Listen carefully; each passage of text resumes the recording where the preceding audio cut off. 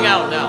The Lord of earth and heaven rode on in lowly state, nor scorned that little children should on his bidding wait.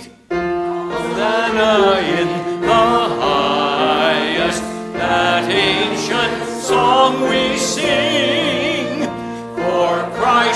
is our Redeemer, the Lord of heaven, our King. Sing out now. Oh, may we ever praise him with heart and life and voice, and in this blissful presence eternally rejoice.